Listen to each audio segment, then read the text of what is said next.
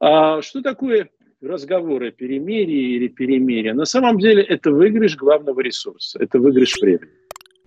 Потому что, когда я слышу, что там за три года Россия подготовится, во-первых, никто не мешает подготовиться Украине. Да? Время работает для обеих сторон. Если вы уверены, что вы не сможете подготовиться, тогда это вопрос к эффективности вашего государства. Значит, ваше государство и ваша власть неэффективны. Они, может быть, отважны, они продемонстрировали блестящий образец самообладания и мужества, но как машина они неэффективны. Но дело даже не в этом, а в том, что за год в России изменится слишком много. И выигрывая время, можно выиграть все. Я вам приведу пример. Это Брестский мир, который заключил Ленин с немцами в свое время. Это был тяжелейший выбор. Ситуация была тогда у советской, молодой советской России гораздо хуже, чем сейчас Украина. Гораздо хуже, несравненно. Но Ленин оказался стократно прав. Потому что, выиграв время, он сохранил государство, да, большевистское государство. Может быть, конечно, лучше бы его не было. Я с этим согласен. Но он сохранил его, он мыслил как государственный деятель, и более того, он отыграл все назад, с лихвой. Понимаете? То есть вы можете бояться времени только в том случае, если вы уверены абсолютно, что время, и точнее все процессы развиваются линейно. Они не будут развиваться линейно. Произойдут изменения в России очень серьезные. И эти изменения могут оказаться очень выгодными, и даже с моей точки зрения, наверняка выгодными для Украины. Хорошо, вы боитесь идти на переговоры. Кто вам мешает начать говорить о том, что мы готовы рассматривать варианты? Давайте в качестве первого шага мы прекратим огонь. Вот если у вас, у российской стороны есть добрая воля, то давайте мы прекратим огонь сейчас. Разве это было бы неправильным решением? Вы прекратите обстреливать нас, а мы, в свою очередь, прекращаем обстреливать вас. Кто бы оказался выигрышем? Я не уверен, что украинская сторона в этом случае бы проиграла. В случае прекращения обстрелов. И понимаете, это был бы шаг со стороны Зеленского, на который было бы а, очень трудно ответить российской стороне отказом. Если вы говорите, вот, что мы готовы вести переговоры о мире – Давайте в качестве предварительного шага, предварительного, до начала любых консультаций, переговоров, прекратим взаимный обстрел. Так что здесь есть много возможностей. И не надо оценивать э, идею, э, а, еще раз обращаю, даже не перемирия или мира, а переговоров. Оценивать идею переговоров как абсолютно проигрышную, невыгодную для Украины. Есть проблема. Я вам напомню, что то, что в марте обсуждалось 2022 года, для Украины было выгодно. Очень выгодно. Ну, выгоднее, сейчас чем сейчас. В любом да. случае, сейчас условия в любом случае гораздо хуже. Э, Валерий Дмитриевич, да, с кем говорить? С Евгением Васильевичем? А, вы знаете, я думаю, что это как раз тоже очень хорошо, что а, вы имеете дело, украинская сторона, Петрушку куклу, потому что всегда можно отказаться. Это же уникальная возможность. Вы вступаете в контакт, вы начинаете вести консультации, а потом говорите, окей, а пусть теперь состоится встреча двух президентов. Но... И тут происходит а... сеанс разоблачения.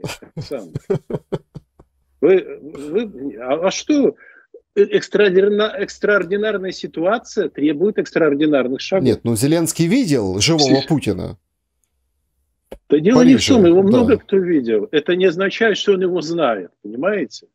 Если вы общались с Путиным, как любой российский губернатор при назначении встречался с покойным Путиным, означает ли это, что он знает Путина? Нет, конечно, не означает. Это ничего не означает. Вот.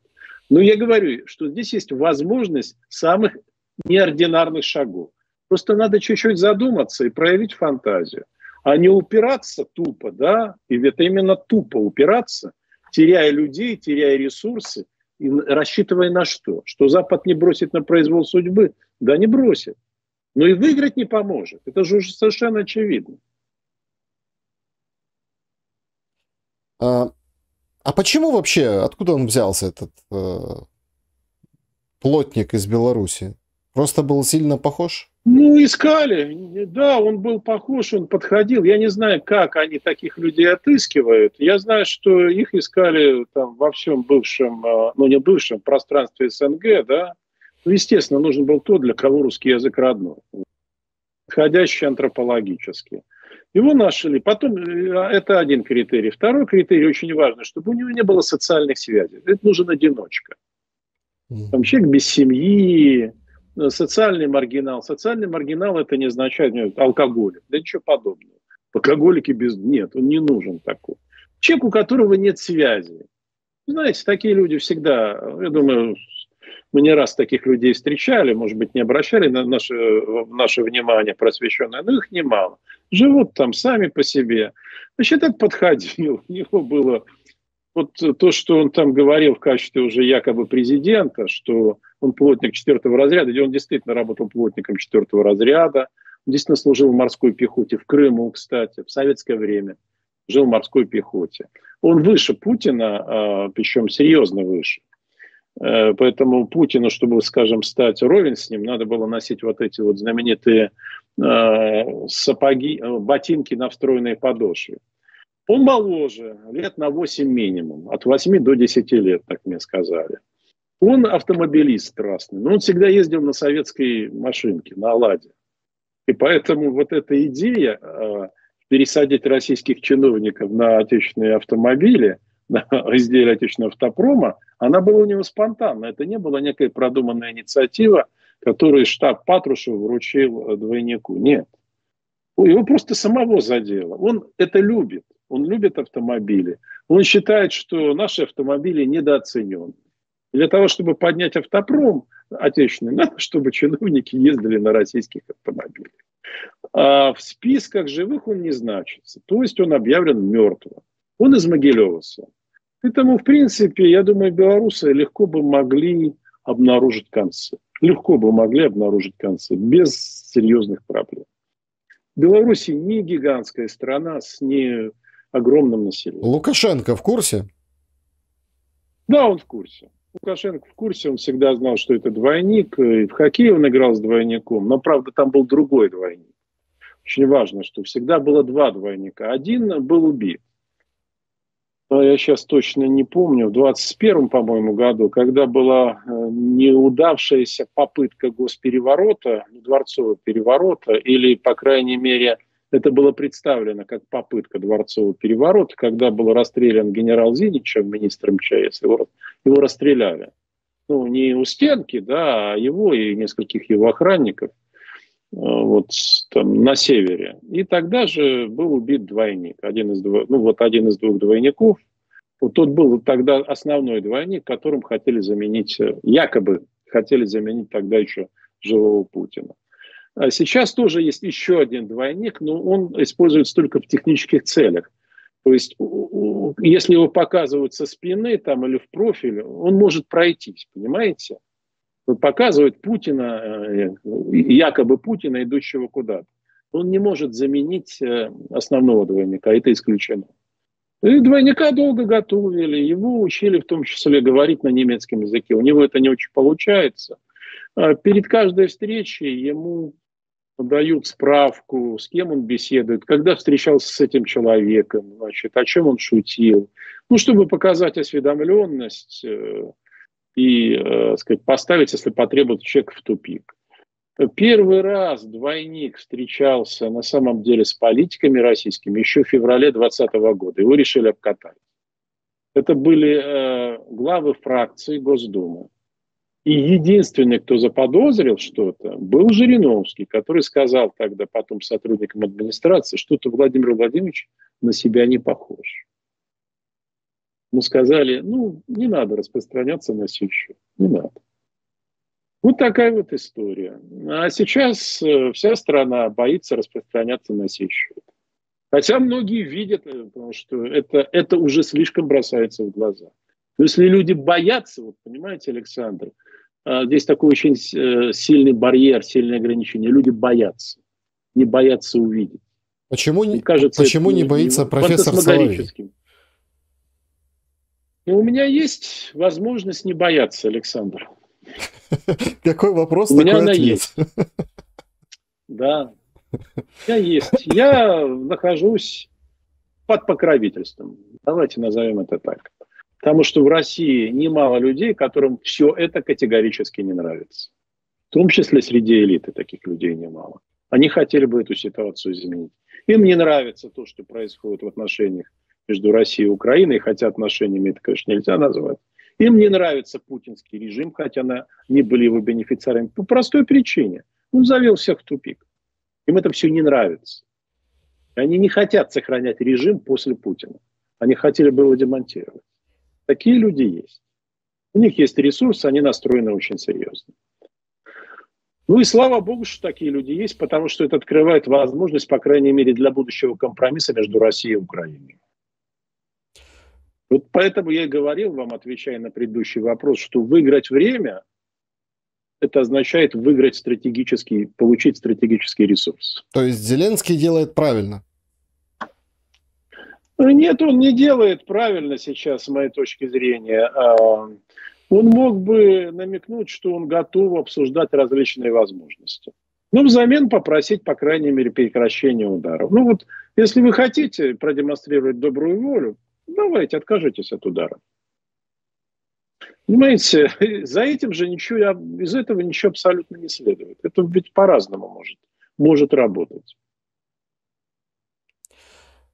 Валерий Дмитриевич, тут странность такая. Я, кстати, вас вспоминал в Новый год, да? Ну, вот в эти дни имеется в виду. Потому что... Не злым тихим словом. Нет, потому что мне, мне очень интересно, а, как вы откомментируете ситуацию с главой Пентагона Ллойдом Остином?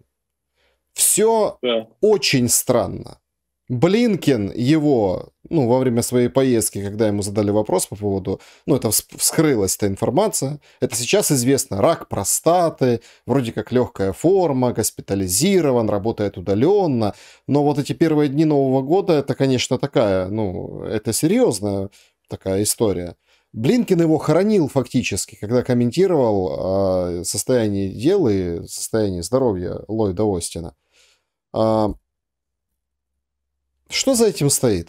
И стоит ли что-то за этим? Знаете, нет, за этим стоит самая обычная вещь. Дело в том, что в любой стране, это не только в России, ну, в принципе, в любой стране, то же самое демократической, пытается обычно скрывать недомогание высших государственных чиновников. Есть совершенно фантастические истории, не менее фантастические, чем российская. Допустим, Франция с президентом Митераном, когда он болел раком простаты, он э, полгода, там, месяцами, по крайней мере, находился в постели, он не вставал, у него была глубокая депрессия, и все это скрывалось. И он скончался спустя э, несколько месяцев после окончания срока действия своего мандата. Поэтому э, просто не хотят сообщать о болезнях чиновников, тем более болезнях, я бы сказал, потенциально опасных. Не обязательно опасных, актуально потенциально опасных. Вот у Остина там рак простаты, а, я не знаю просто в каком состоянии все это было. Ну, естественно, мы с вами не знаем. Тут еще что важно, это министр обороны. Это в тот момент, когда надо обсуждать в том числе помощь Украине, помощь Израилю – его участие необходимо, не просто желательно, оно необходимо. Надо использовать его лоббистские возможности и прочее, прочее, прочее. Ну, вы понимаете, Александр. Поэтому я думаю, что рассчитывали все это скрыть, что все это пройдет шито-крыто, да, гладко пройдет, э, что там через несколько дней он ступит, э, вернется в свой кабинет без всяких проблем. Все затянулось. То есть, если бы они знали в самом начале, что это затянется, реакция была бы иной. Что-что, а пиарщики там хорошие, они знают, как это все подавать. Я думаю, рассчитывали, что он действительно проведет двое суток. Будет, видимо, совершена какая-то хирургическая манипуляция, малоинвазивная, и он вернется в строй. Ну, сейчас медицина достигла высочайшего уровня, особенно в некоторых странах, и это все выглядело реальным. Так как врачи, видимо, взялись за дело. А что тут теперь сказать? Шли по пути э, сокрытия. Ну, то есть это не русские? Нет, это не русские, это все равно, слушайте, ну это демократическая страна. а потом это возможность медиа там, проникать в самые различные кабинеты. Не то, что невозможно некоторые вещи скрыть, очень даже возможно, Александр. Есть вещи, которые успешно скрываются. Но болезнь госчиновника ну, не относится к разряду тех вещей, которые можно скрывать очень-очень долго.